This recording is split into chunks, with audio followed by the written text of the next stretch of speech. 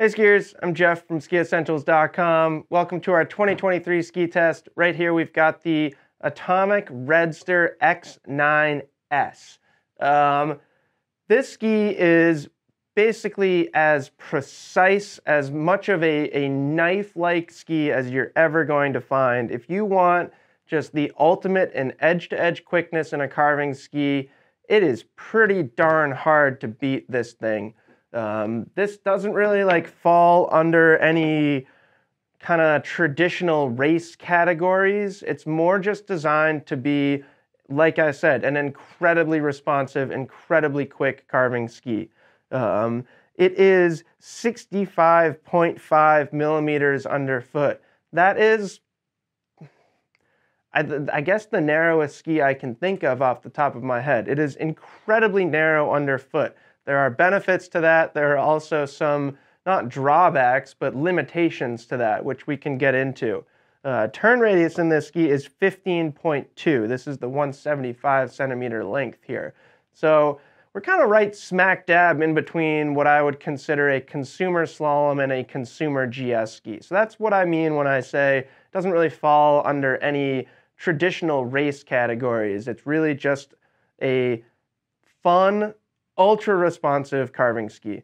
Um, ultra is actually a word that carries through this ski quite a lot. It's got ultra wall sidewalls and it's got Atomic's ultra power wood core. So it's like the stiffest, densest core that, that Atomic makes. And that's pretty evident when you just try and hand flex this thing. It is darn stiff and that does come through in its performance as well. Um, we get Titanal laminates in this ski, so kind of traditional horizontal sheets of metal and then we get Atomic's RevoShock S system. So this is the same thing that you'd see on Mikaela Shiffrin's World Cup skis. Um, it's basically, without getting into the details, it's a really cool technology that does a fantastic job eliminating unwanted vibrations in the ski. So in a ski like this that's designed to be powerful and responsive, um, it's nice to kind of smooth out the forebody of the ski, just give you a better feel, a better snow feel, better connection to the ground below you. Um, you're not going to see any rocker in a ski like this. You know, we just get long traditional camber, that stiff flex pattern, narrow waist, and you add up all those things, and this thing is just incredibly fun to link carving turns on. You know, it loves being on firm snow. Like I said, a ski this narrow does bring with it some limitations. You know, you're not going to want to take this thing into soft snow. Maybe some of you will leave a comment and be like, I can do that, and that's fine. You can do that. It's just there are better tools if you're looking for an all mountain ski, something with soft snow versatility or for variable snow conditions.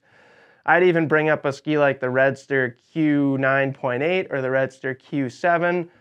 A lot of similar properties in skis like that, a lot of similar technology, um, but those skis have wider waist width, so they're going to be a little bit better in softer snow.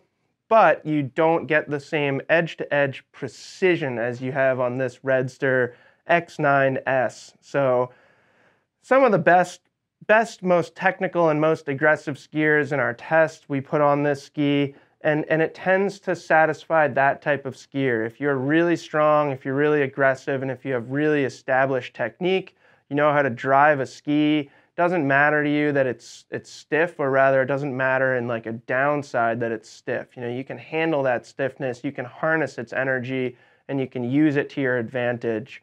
So incredibly fun just to get it to sing and, and come across the fall line. It, it just it it has such a so much pizzazz to it, just such an energetic, responsive, just extremely precise skiing experience that I know I've said a few of those words a few times, and it, it's just it's one of those things that you can't put too much emphasis on that side of it or, or that that part of its nature. Is it really is just just a, a carving weapon. Um, pretty one-dimensional, like I said. You know, it, it is really just designed for that on-trail carving, but gosh, I, you know, I, if if everyone had the means, if if money was wasn't a wasn't a thing, or if we all had a little bit more of it, Um, this is the type of ski that I, I kind of think that like everybody should have a ski like this in their quiver. It's really nice to have a ski that you can take out when you haven't had fresh snow in a while. You know, we all love to think about when we're going to get our next face shots and deep powder day, but realistically, there are more days where we're just skiing firm snow. Again, I can like hear the comments coming through already where somebody's probably going to be like, I get powder all the time because I live in Revelstoke or something. And that's fantastic. Good for you. Uh, not everyone's that lucky.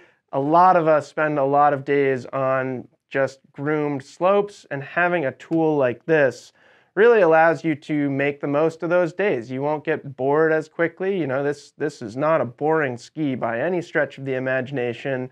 Although it's kind of designed for one thing, it does that one thing exceptionally well um, and it's an extremely rewarding skiing experience too. So that's it. That's the Redster X9S from Atomic. Great ski. Let us know if you have any questions about it, and we'll see you out there on the hill.